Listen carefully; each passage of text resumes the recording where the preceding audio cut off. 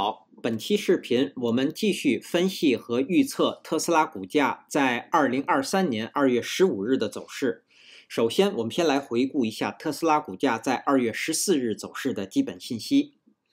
它的开盘价是一百九十一点九四，收盘价是二百零九点二五，在盘中最高价是在二百零九点八二，最低价是在一百八十九点四四。那在盘中，它的最高值与最低值之间的幅值是达到了二十个点。我们会看到它的收盘价又重新站上了五日均线值。并且呢，突破了当日的一百二十五日均线值。量，当日的成交量是二点一五九亿股，是前一个交易日的一点二五倍，抱有大的成交量。通常我们说，如果成交成交量是前一个交易日的一点二倍以上，呃，我们就可以把它称作叫抱有大的成交量。好，我们来看 K D 值，K D 值快线的方向又转折向上，开口变小，那这样的信息啊，说明股价发生了向上的反转。M A C D 快线的方向转折向上，开口不变，双线是继续上行。那在零轴的上方啊，出现了较前一个交易日微小的绿柱。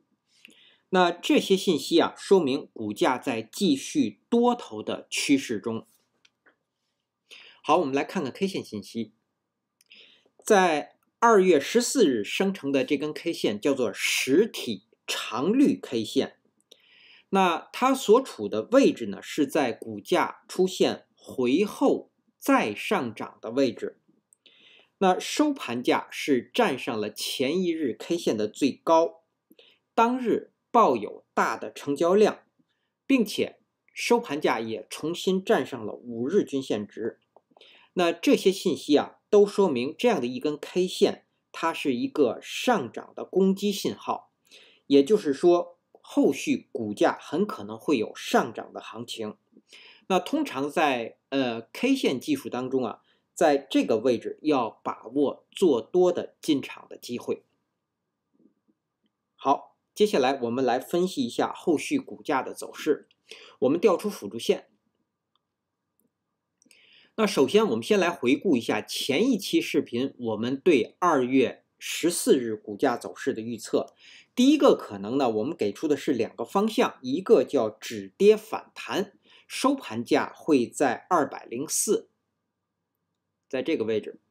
那另外一个方向呢，会出现止跌横盘，收盘价会在一百九十一。那第二个可能，我们认为股价会出现一个小幅的上涨，收盘价会在一百九十四。实际在二月十四日收盘价是在二百零九点二五，那在当日出现了呃大涨，也就是出现了上涨。嗯，那它有几个呃参数，我们可以看一下。第一，它的收盘价站上了前一日 K 线的最高，那也就是确认了这个止跌的信号 K 线。然后收盘价重新站上了五日均线值，那也就确认了股价回档成功。那在当日的收盘价又突破了一百二十五日均线值这样一个压力。在下方我们会看到又抱有非常大的成交量，那这些指标啊都预示着股价会继续上攻，所以接下来我们先来看，呃，接下来我们先来看股价的上行。那对于二月十五日股价继续上行，它的第一个目标就是二百一十四。那股价日后收盘价如果站上一二百一十四呢，将会。继续多头的趋势会继续上涨，那当然它的压力就是前高，也就是二月十四日这根 K 线的最高是在二百零九点八二，这是第一个目标。那上行的第二个目标，接下来就是二百三十七。那在到达二百三十七之前，它的阻力位就是二百日均线值。对于二月十五日来说，应该是在二百二十四附近。对，好，那如果股价说后续再能够上涨，站上二百三十七呢？那我们说接下来的目标，我们把图缩小，我们会看到二百三十七。以上的目标将会是三百一十三附近，也就是这根红 K 的最高。我们现在把这条线加上，是作为啊，我们可以观察。对，好，那我们会看到，如果出现这样一波大的涨幅呢，它的幅度是很高的。然后它首先要突破我们自己定义的这样的一个。头头低的，呃下行趋势线，也就是三号趋势线，然后我们会看到上方还有一个缺口会成为阻力。好，那我们等股价站上二百三十七之后呢，我们再讨论上方。目前呢，只是啊，我们给出一个预见。那同时啊，我们从把图缩小之后，我们也会看到在。从三百一十三一直下跌到一百零一，那目前股价是到了一个关键的位置，也就是到了这一波下跌的百分之五十的这样的一个压力位，所以我们说股价目前在这个区域啊啊是非常呃关键的。说，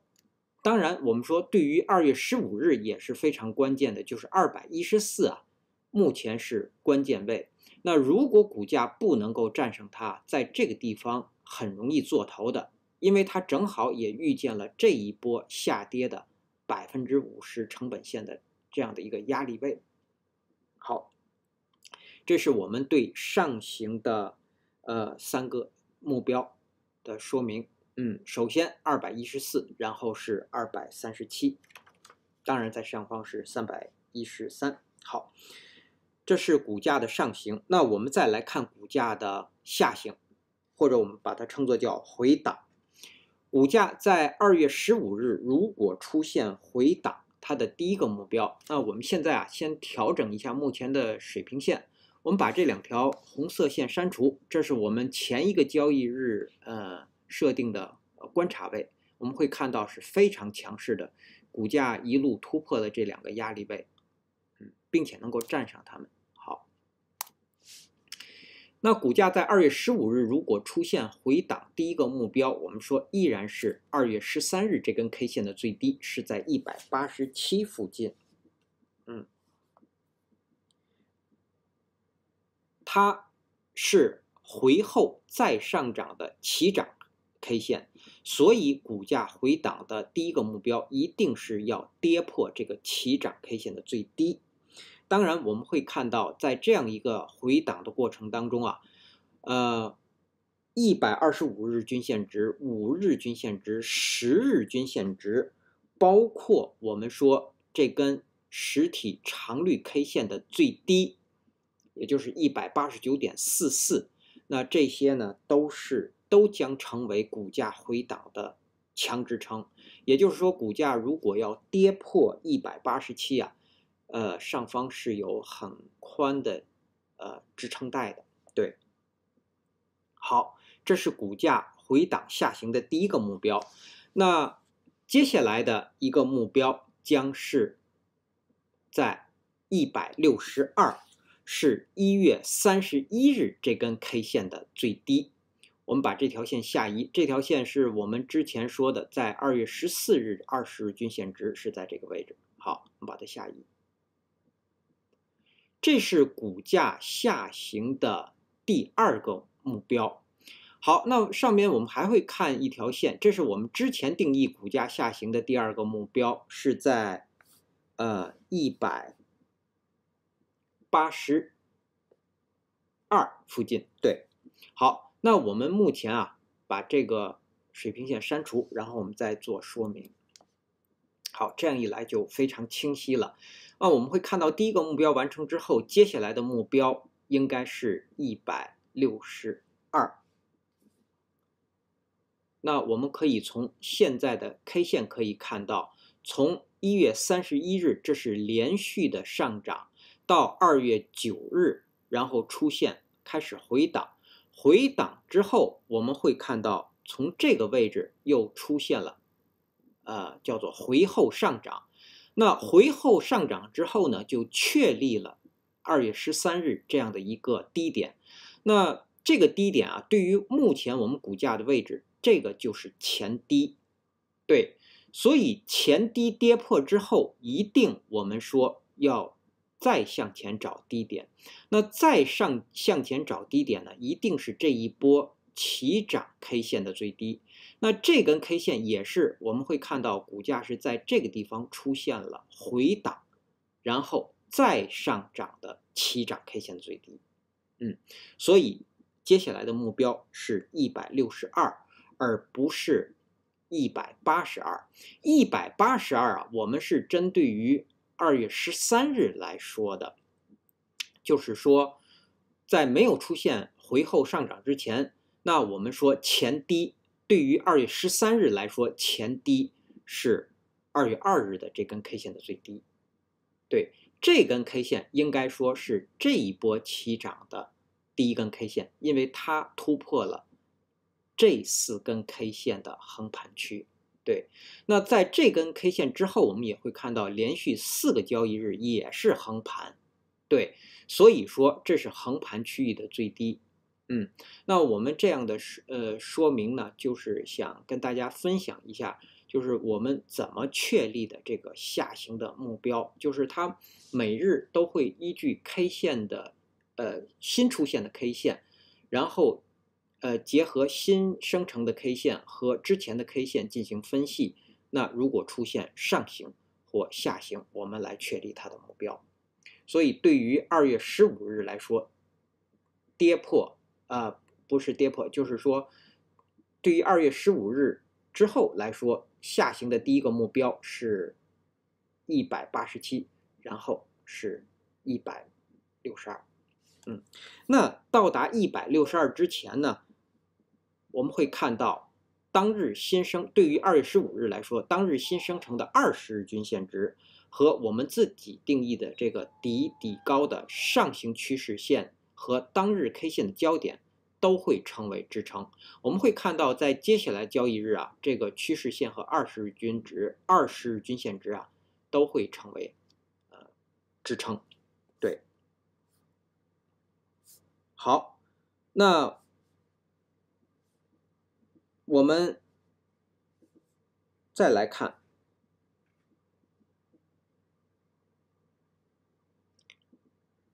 好，那对于说如果跌破了一百六十三呢？呃，其实呃一跌破了一百六十二呢，我们可以看到它实际上已经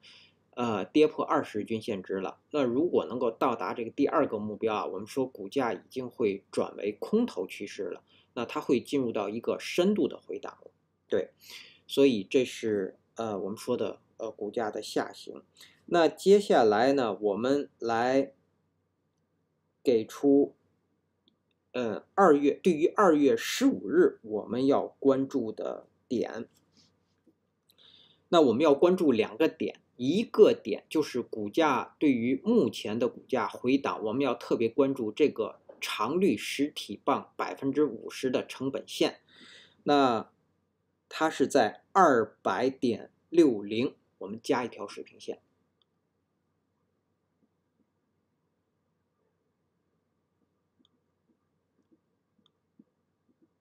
这是我们作为盘中的一个呃观察位。也就是说，股价如果回档呢，我们说如果不跌破这条线，那呃股价不会出现深度的回档。嗯，也就是这样一个长率，呃，我们从单一 K 线来说啊，一个长率实体，然后后续股价只要不跌破它百分之五十的成本线，会继续掉头向上，也就是这个地方将是一个强支撑，也是关键的标志。一旦跌破呢，那股价后续对于单一 K 线来说，一定会测试它的呃当日 K 线的最低的。嗯，所以对于二月十五日。股价回档，我们要特别关注二百点六零这个点。那上方我们要特别关注二百一十四。对，那我们想说，如果二百一十四啊，刚刚已经提到了，二百一十四如果在这个地方不能突破，正好是这一波下跌百分之五十的成本线附近，那不能突破二百一十四，在这个地方是很容易做头的。好，这是我们对股价后续走势的分析。接下来我们来看看技术上的操作建议和规律。我们依然从头说，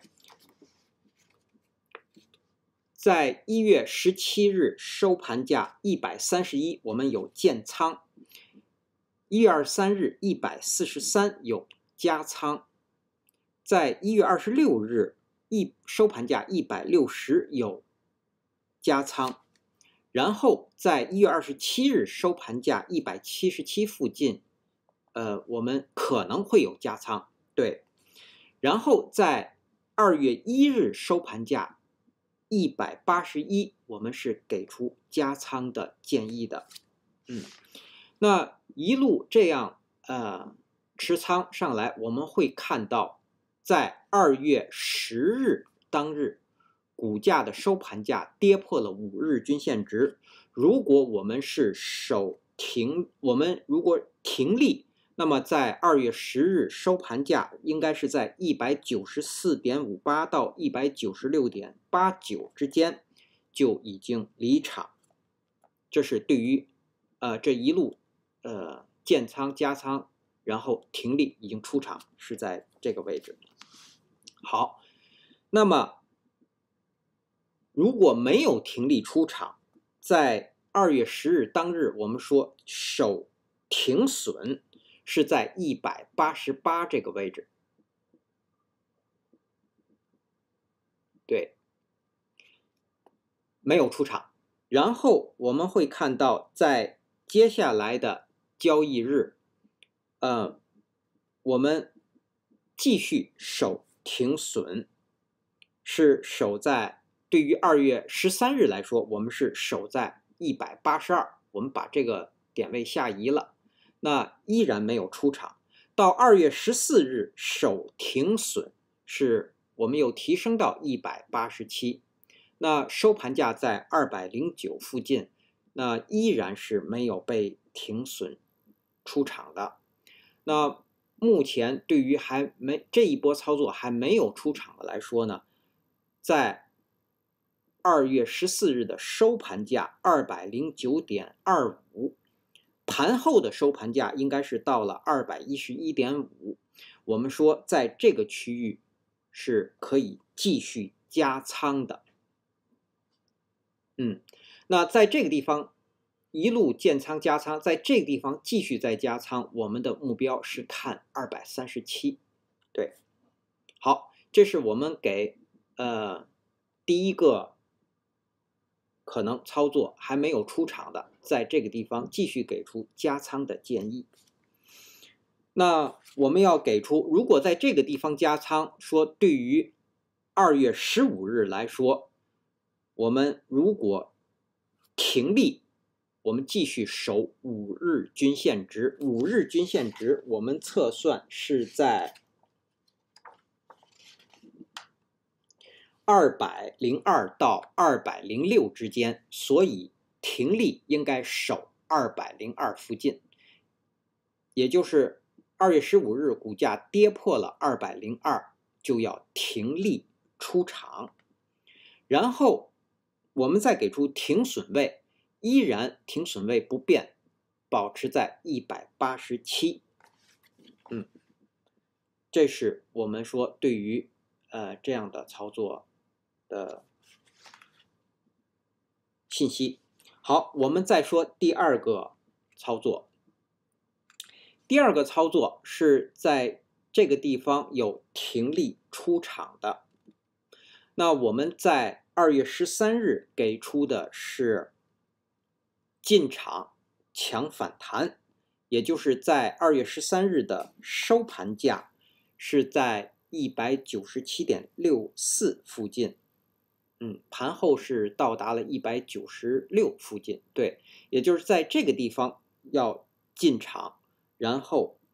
强反弹，目标是在二月十四日的二百这个位置。嗯，那么当日我们给出这个强反弹的止损位也是在一百八十七，因为它没有获利，所以给的是止损。嗯，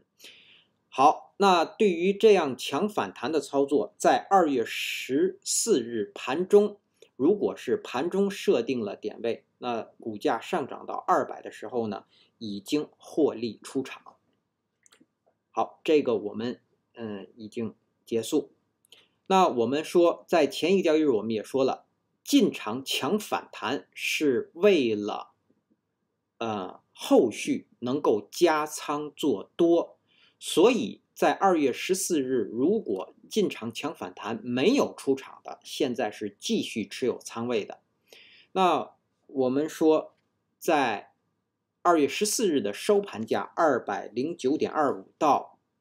盘后收盘价二百一十一点五，在这个地方是可以加仓的。那在这个地方的加仓呢，呃，从仓位上说，我们建议要加仓百分之二十。啊，我们会看到前一日我们是强反弹建仓是百分之五，那到二月十四日这是做多的进场点，然后在这个地方可以加仓百分之二十，那也就是总的仓位应该是百分之二十五了。好，那对于一路这样操第二个这样操作上来的，那我们给出在第二个接下来。二月十五日的交易日，嗯，那我们说还没有获利，所以说呢，我们会给出一个叫做止损出场的位置。那同样，我们再补充说明哈，如果在二月十三日说我没有进场抢反弹，怎么办呢？那我们说，所有的加仓位都是进场，也都是进场点，所以之前如果没有呃强反弹进呃进仓，对，那么我们在二月十四日的收盘价，在这个地方是可以建仓的进场，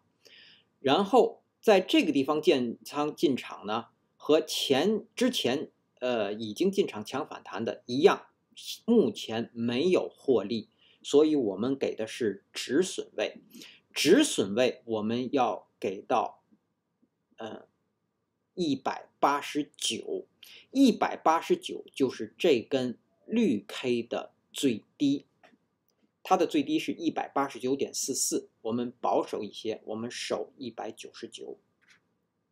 好，当然，呃，我们会看到这一根绿棒啊是非常长的。那它的幅度呢，达到了二十个点，所以我们说，如果在这个地方进场呢，手停损在这个地方，可能呃亏损会很大。对，那我想说呢，呃，这个是要因人而异，就是我们是给出的底线，呃，在这个地方，以致呃，就是说不要亏损的再多。对，但在这之前，我们说。啊，五均、十均，当日新生成的五日均线值、十日均线值都是呃止损位。那我们还给出了这个二百点零六，它也是一个关键的回档的位置。这个位置呢，也可以成为呃在二百零九进场的一个止损位。在这里，我们想再强调一下，我们说的呃。这个止损位是指收盘价跌破止损位，在盘中是不作数的，因为盘中股价是浮动的。嗯，呃，并且我们说的收盘价指的是盘中的收盘价。嗯，因为目前嗯美美股是有盘前、盘中、盘后，嗯，现在目前还有了夜盘，对。所以我们说的收呃这个收盘价指的是盘中的收盘价，嗯，好，那对于呃第二个强反弹加仓或者说是在这个地方直接建仓的止损位，我们说是在一百八十九最低了，上面呃大家可以呃，就是说依据自己的呃能够承受的程度呢，可以把止损位还可以提高，对，但是止损位再提高不能高于二百点六，就是不能高于这个位置。嗯，好，这个是我们对呃连续这样操作的一个描述。嗯嗯，占用的时间有点长了，但是我想这个地方是特别关键的，呃，一定要说清楚。好，那在这里边我们还要呃补充说明，呃，在二月十三日开始强反弹之后啊，包括二月十四日，我们是给出呃叫做这个建仓之后是给出仓位的啊，又加了信息。我们在这想补充说明一下。呃，我们自己这个频道当中提到一些名词的定义哈，在之前我提到，呃，我们呃的全仓，我们我们提到这个百分之，例如我们举例子来说，在这个地方是呃百分之五建仓，如果我有一百股特斯拉，呃，以当日收盘价这样的一个资金量。那百分之五呢？就是说我要买入五股。好，再接下来一个交易日加仓，在这个地方，呃，我们说要继续增加百分之二十，那我继续买入二十股。那这样一来，加在一起就是百分之二十五。那我们说，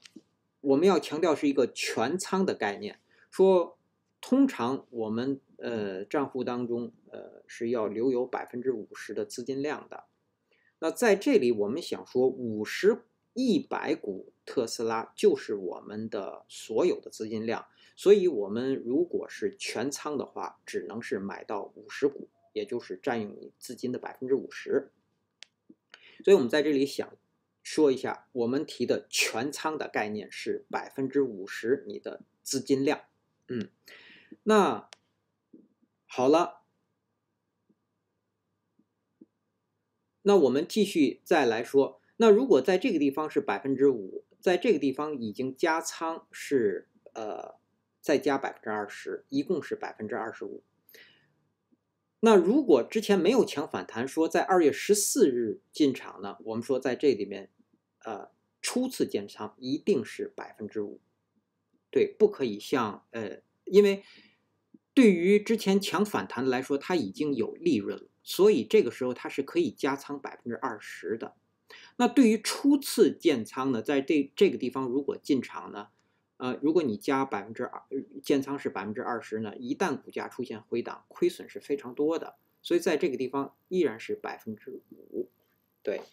好，我们我想再呃给大家举一个例子，关于仓位的管理，这只是呃叫做一个例子啊，比如说我们在。一月十七日建仓，我们是加仓，在这个地方是百分之五，买了五股。在一月二十三日，我们加仓是加百分之二十，因为这是很明确的回后上涨，一定就是，当然我们现在是事后论啊，但对于当初呃在当日呢，我们也会看到大幅的量增，然后超过前高回档成功，一定会上行，所以在这个地方我们是要加仓百分之二十的。然后，在这个地方是出现了跳空的上涨，那在这个地方是后续是百分之十加仓，那在这个地方会有啊可能会有进场，那也有可能不进场。那例如我们不进场，对，好，再继续在这个地方我们又给出加仓建议，那在这个地方依然是加仓百分之十，所以到了二月一日我们会看到五二十。然后这是二十五，再加十，三十五，再加十是四十五。所以说，在到了二月一日开始之后啊，我们会看到这一波的上涨，实际上基本是全仓了，也就是已经使用了呃资金量的百分之五十了。那这个时候我们会发现，呃，其实我们也给出一个呃叫做规律吧，如果加仓到百分之五十，或者是已经建立了全仓。那应该是开始盈利了，所以这一段一直是盈利。那盈利，我们说一直在之后，我们一直是是说守五均。例如在二月十日，如果是跌破五日均线值出场了，我们会看到，呃，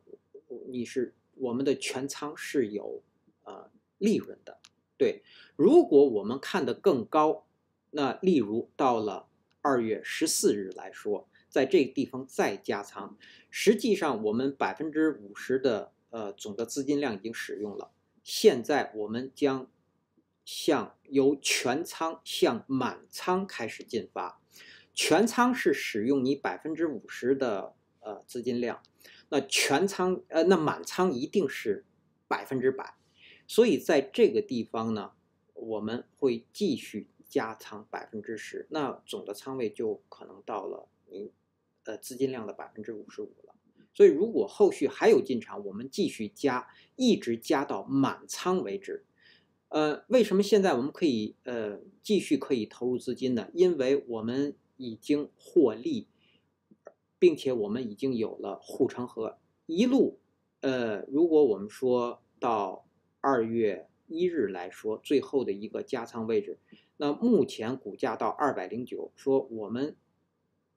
的成本应该是在。二十日均线值附近，对，那我们会有很宽的一个护城河的。那这个时候可以把剩下百分之五十资金再去呃投入，但是我们还是说要一点一点的往上往上加。一旦呃大笔的说去我满仓进入，那一旦出现回档，那我之前的利润也就呃都亏损掉了。对，所以在这里呢，我也想。呃，再说明一下，呃，我们在这里讲的这个仓位的管理的一些，呃，我个人的一些看法。好，呃，那么我们继续说，这是我们是多说的是，呃，做多进场，然后呢。我们又提到了仓位的一些呃管理的一些规律和建议。那接下来我们再来说空头。空头我们不建议做空，我们呃不给空头的呃操作建议，我们只是讨论空头。对，好，那对于空头来说，在二月十五日我们会看到有这样一个大幅的呃提升呢，会有空头止损出场的。那因此呢，再加上多头的力量，我们可以看到是这样的一个涨幅，嗯，那也有可能，我呃，我们呃在这里，我想再呃强调一下，我们讲的是 K 线技术，我们不看市场信息，也可能是什么 KPI 信息，也可能是其他的市场信息，我们呃是不参考这些信息的，我们只看 K 线信息。对，那如果只看 K 线信息。我们会认为它是多头的力量和空头的止损出场造成的这样的一个上涨。好，那么，呃，我们说，对于二月十五日来说，啊，我们刚才提到二百一十四是特别关键的点位，那这也是空头的最后的一个回补位，所以这个位置是空头要守的位置。也是多头要攻占的位置啊，因为我们刚刚讲了，在这个地方如果不能突破，是很容易在这个区域做头的。也就是这个盘整区已经建立，一旦做头会股价有可能会向下。对，好，那对于空头来说，目前是没有进场点的，所以从呃空头的这样的一些的信息的呃所谓的讨论吧，就是说。目前还是有利于股价继续上行的。好，这是我们给出的呃技术上的操作建议和规律。呃，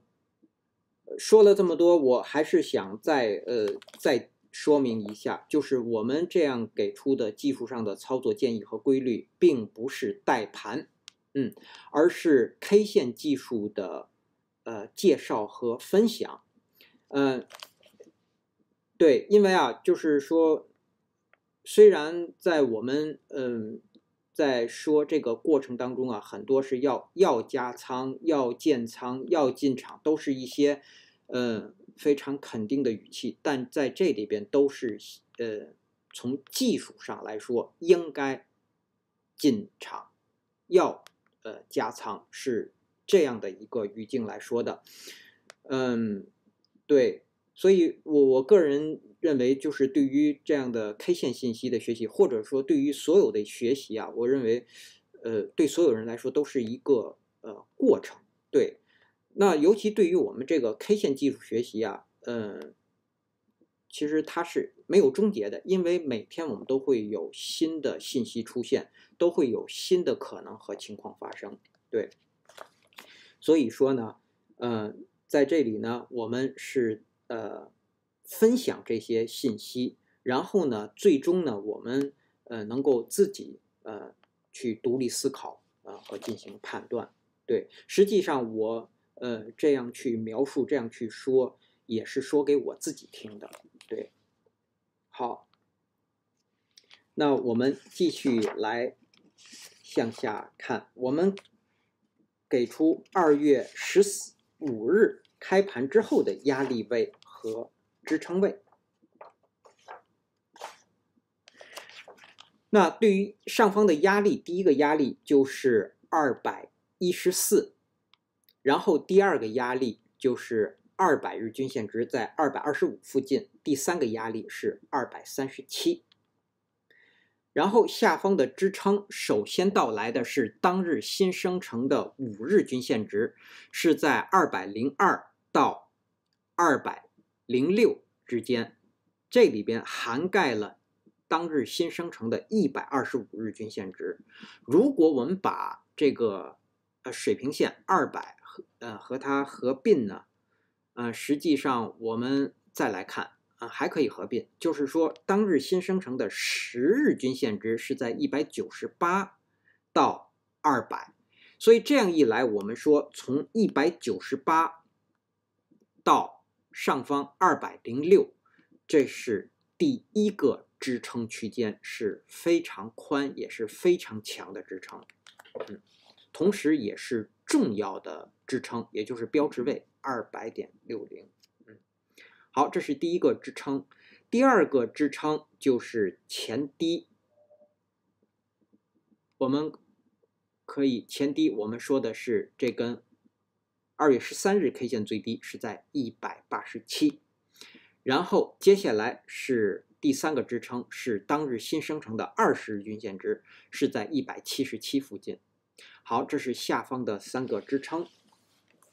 那基于以上这些信息的解读和分析呢，我们给出二月十五日股价走势的预测。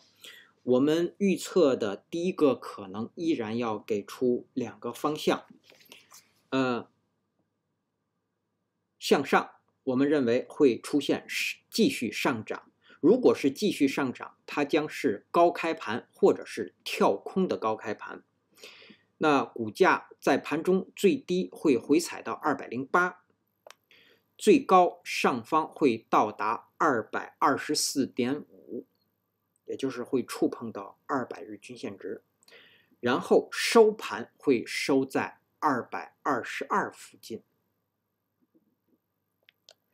那它的条件是在盘中股价是不可以低于二百零六的。满足了这个条件，才会出现这样的上涨。那另外一个方向呢，是会出现小幅的回档。如果出现小幅的回档，它应该是高开盘，嗯，实际上呃也会跳空的高开盘，因为我们会看到最高价和收盘价是很近的，嗯，也可能会跳空的高开盘，对。那如果是小幅回档，它是高开盘，或者说是低开盘，嗯，然后呢，股价最高会到达二百一十三，最低会回踩到二百零二，收盘会收在二百零六附近，在这个位置。那它的条件是在当日股价是不可以高过二百一十四的，满足了这个条件才会出现这样的小幅的回档，这是第一个可能。第二个可能，我们认为股价很可能会出现平盘，平盘是指收盘价和前一个交易日收盘价基本持平。嗯，那如果出现平盘，我们依然认为它可能是高开盘或者是小幅的低开盘，然后股价最低会到达二百零六，回踩到二百零六。最高上方上方会到达二百一十五，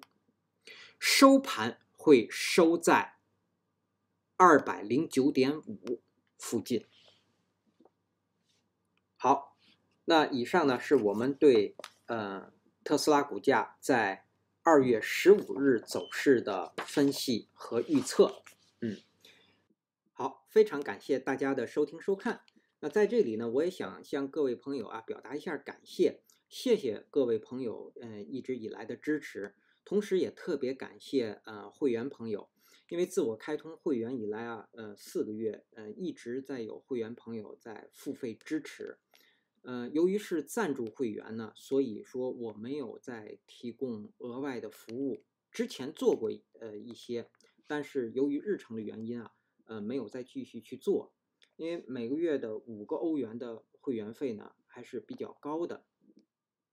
嗯，也可能会给各位会员朋友造成一些负担哈，所以各位会员朋友可以随时退出，然后呢，哪天心情好的时候呢，可以再呃进来支持一下，呃，同时呢，我也想说，呃，就是不管是会员朋友还是非会员朋友，您呃如果呃能够全过程的播放。呃，我这个视频呢，能够听我在这儿唠叨呢，实际上对我已经是很大的支持了，所以呃，非常非常感谢大家的支持，特别向会员朋友也表达一下感谢，谢谢大家。